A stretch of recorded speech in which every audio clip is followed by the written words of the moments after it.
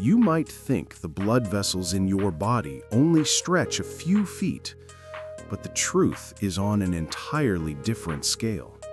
Inside you, right now, are thousands of tiny pathways weaving through every organ, every muscle, every corner of your body.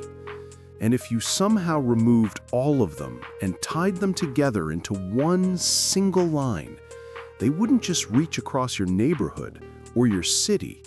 They would stretch from New York all the way to the Grand Canyon. And they wouldn't stop there. They would continue across the Pacific Ocean, sweep over Japan, stretch across all of Asia, and keep going straight over Europe.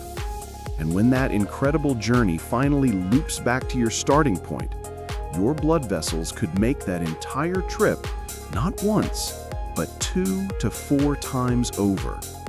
All of that inside just one human body.